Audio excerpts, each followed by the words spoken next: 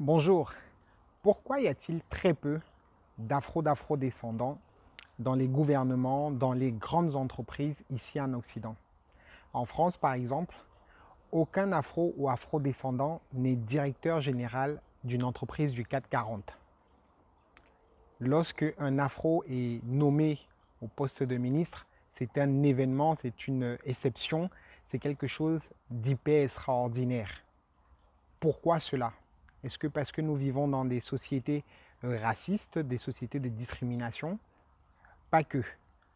Dans cette vidéo, je voudrais euh, mettre le doigt sur la responsabilité que nous avons en tant que afro ici en Occident, notamment sur l'éducation de nos enfants. C'est parti.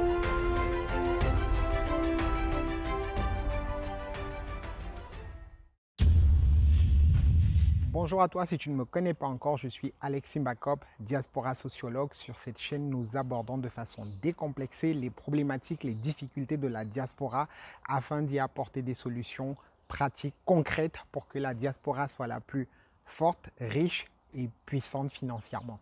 Nous sommes forts ici. Dans cette vidéo, je voudrais voir avec toi nos habitudes, nos comportements qui freinent un petit peu notre, notre éclosion, notre ampleur ici en Occident. Mais avant cela, je voudrais euh, te souhaiter la bienvenue sur cette chaîne, t'abonner si ce n'est pas encore fait et activer la cloche des notifications. Partage cette vidéo parce que je crois qu'elle va faire du bien et peut-être même choquer quelqu'un. L'idée étant de s'améliorer. Pourquoi? Parce que ici, nous voulons voir une génération qui s'élève, une génération qui n'a pas froid aux yeux, mais une génération qui veut entièrement prendre sa place. Et notre place n'est pas forcément celle du bas. Nous voulons regarder et construire une place, un avenir pour nous, immigrés, et pour les générations futures. La première chose que je voudrais dire, c'est que l'éducation est un pilier, l'éducation est un fondement de la société. Lorsque nous parlons de bâtir une communauté forte, riche et puissante financièrement, cela ne peut se faire qu'avec des hommes et des femmes bien éduqués, bien instruits. Alors, euh, et un mal que nous avons au sein de notre communauté, c'est de croire que l'éducation, que l'instruction est gratuite.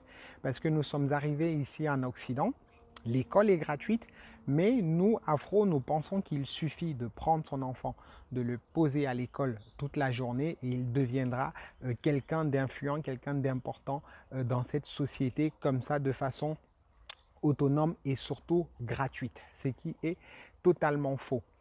J'ai fait euh, déjà des lives pour expliquer que les enfants en fait qui réussissent ne sont pas euh, prédisposés forcément n'ont pas des capacités euh, surnaturelles, n'ont pas des ne sont pas dotés de toutes les capacités intellectuelles par avance. Non, c'est la résultante des différents investissements de leurs parents. Et nous, Afro, nous investissons très peu dans nos, euh, dans nos enfants. D'où cette difficulté, d'où ce manque, d'où ce manque de visibilité de la communauté au sein des grandes instances. Lorsqu'on regarde les grandes écoles, les écoles d'administration, les écoles qui forment les dirigeants de, ces pays occidentaux, on va remarquer qu'on a toujours 1, 2, 3% maximum de personnes d'origine africaine. Pourquoi? Parce que nos enfants, euh, généralement, dans leur cursus scolaire, sont tout de suite rapidement orientés vers des filières non porteuses. Pourquoi? Parce qu'on remarque qu'ils ont des difficultés, on remarque que au cours de leur cursus scolaire, ils ne parviennent pas à remplir toutes les exigences demandées au niveau scolaire. Mais la question que je vous pose, c'est est-ce que les enfants en face ont toutes ces capacités, toutes ces attentes, tout ce qui est attendu dès leur naissance Je pense que non. Je pense que les parents veillent à ce que leurs enfants soient accompagnés, suivis pour que tout, euh, pour qu'ils aient un niveau suffisant dans toutes les attentes afin d'entrer dans les meilleures filières, afin d'entrer dans les meilleures écoles, afin de réussir à tous les concours possibles pour arriver au sommet. Donc je veux attirer l'attention ici des parents qui vivent en Occident, qui sont arrivés en quête de devenir meilleurs, en quête euh, d'améliorer leurs conditions économiques, mais qui, euh, cette quête d'amélioration de conditions économiques prend le dessus sur l'éducation des enfants. Je veux vous rappeler, chers parents africains, que ces enfants vous appartiennent et il est de votre ressort de financer les études, de financer les besoins de vos enfants. Donc arrêtez de euh, prendre de l'argent pour le mettre dans des investissements non fructueux. Arrêtez de mettre l'argent dans des dépenses qui n'apportent pas, euh, de, qui n'apportent pas de bien à votre propre famille et à vos enfants.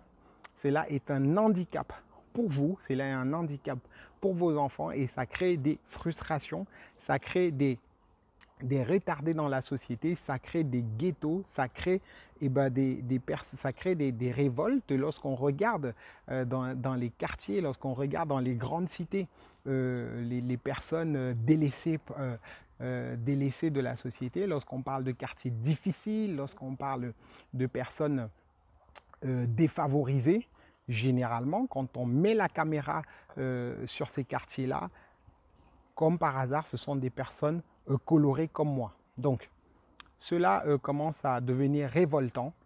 Je pense qu'une grande partie de la responsabilité est sur l'épaule des parents et non sur celle de l'État. Parce que si les parents mettaient en priorité l'éducation de leurs enfants, investissaient au maximum sur le devenir de les enfants, on ne verrait pas des jeunes passer du temps en longueur de journée dans les cages d'escalier, on, on, ne verrait pas des jeunes filles euh, passer euh, du temps dans les rues à trafiquer comme on peut le voir euh, dans certaines cités. Donc dans cette vidéo, je voudrais vraiment attirer l'attention.